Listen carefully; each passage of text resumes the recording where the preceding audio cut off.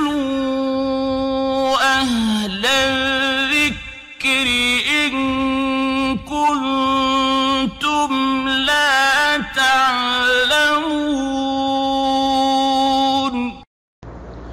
ওয়ালাইকুম আসসালাম রহমতুল্লাহি ওবরাকাতু যে আমাদের একদিনই ভাই জানতে চেয়েছেন যে ফেতরা খাবার দ্রব্য ছাড়া টাকা দিয়ে আদায় করা হয় না এখন যদি কোনো সমাজের সর্দার সাহেব ও কমিটি মিলে টাকা ধার্য করে এবং টাকায় ফেতরা নেয়, তার জন্য কে দায়ী হবে, সর্দার না যে দিল সে?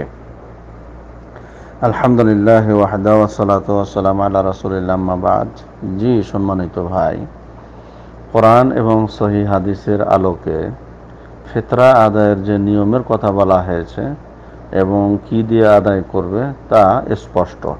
আর সেটা হলো নিজ নিজ এলাকার যে যে পরিবেশে বসবাস করে, সেই পরিবেশে বা সেই এলাকার অনুযায়ী প্রধান খাদ্য থেকেই ফেতরা আদায় করবে।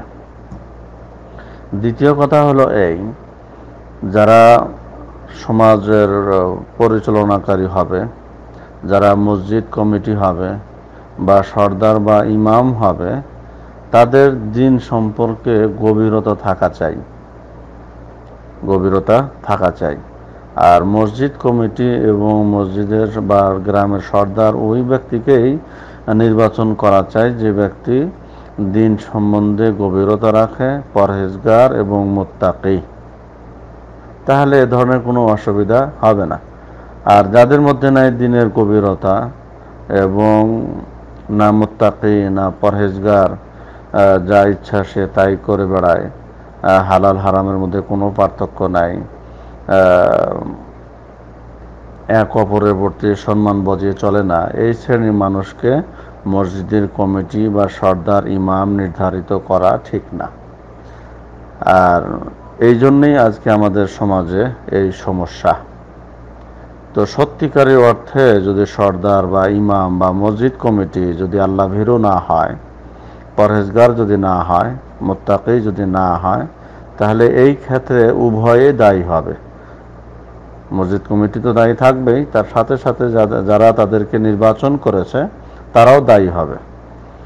দ্বিতীয় কথা হলো এই, যদি মসজিদ কমিটি এবং ইমাম ও সর্দার উভয়ে যদি আল্লাহ ভীরু হয়, দিন সম্পর্কে গভীরতা গভীরতা রাখে এবং ইচ্ছাকৃতভাবে যদি তারা এই ধরনের কাজ করে জ্ঞান রাখার পরেও তাহলে অবশ্যই তারা এ বিষয়ে কেয়ামতের দিন জিজ্ঞাসিত হবে।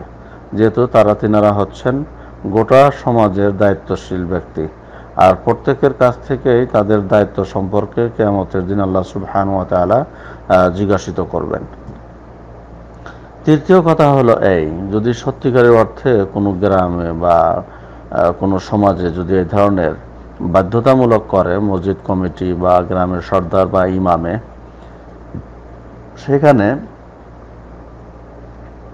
ফেতনা ফাসাদ থেকে বাঁচার জন্য টাকাও দেবে এবং খাদ্যদ্রব্য থেকেও ব্যক্তিগতভাবে সাদাকাতুল ফেতের আদায় করে তা ফকির এবং মিসকিনদের মধ্যে নিজ হাতেই বিতরণ করবে। চতুর্থ কথা হলো এই যে সাদাকাতুল ফেতের যেটা আদায় করার নিয়ম ভাগ বন্টন করার নিয়ম, সেটা হলো এই যে সেটা প্রত্যেকেই নিজ নিজ হাতে ফকির মিসকিনদের হাতে তুলে দিবে বা বাড়িতে দিয়ে আসবে। এখানে সাধারণ যে ফসলের বা টাকার যে জাকাত আদায় করা হয়ে থাকে এবং সেটা এক জায়গায় একত্রিত করা হয়ে থাকে, সাদাকাতুল ফেতের সেই জাকাত থেকে ভিন্ন। এখানে এক জায়গায় আদায় করতে বলা হয় নাই। বরং প্রত্যেকেই নিজ নিজ হাতে, নিজ নিজ সাদাকাতুল ফেতের ফকির ও মিসকিনদের হাতে তুলে তুলে দেবে বা তাদের বাড়িতে পৌঁছে দিয়ে আসবে। এটা হলো নিয়ম। আর আরেকটি কথা হলো এই, যদি কোনো সমাজের মানুষ এই ধরনের নিজে নিজে দায়িত্ব নেয় যে আমরা নিজেরাই বাঘ বন্টন করব, বিতরণ করব, তাতে কোনো সমস্যা নাই, জায়েজ আছে, কিন্তু সেটা কোরআন এবং সহি হাদিসে যেভাবে যেভাবে করতে বলা হয়েছে, সেভাবে অবশ্যই তিনারা কি করবেন? ফলো করবেন। আর যদি ফলো না করেন, তাহলে দায়িত্বশীল ব্যক্তিরা বিষয়ে কেয়ামতের দিন জবাব দিয়ে দিতে হবে তাদেরকে। তো যাই হোক, মোট কথা হলো এই যে সাদাকাতুল ফেতের নিজে প্রত্যেকে নিজ নিজভাবে আদায় করবে, এটাই হচ্ছে মূল। তবে যদি কোথাও এই সিস্টেম থাকে, ব্যবস্থা থাকে আদায় করার, জমা করার সেখানেও জমা করতে পারে কোনো সমস্যা নাই ওলামা একরামগণ এটাকে জায়েজ করেছেন আশা করি জিনিসটা বুঝতে পেরেছেন বাকি আল্লাহ আলম সবাব সালাম আলাইকুম রহমতুল্লাহি ওবরাকাত أشرقت نفسي في نور من فؤادي حينما رددت يا رب العباد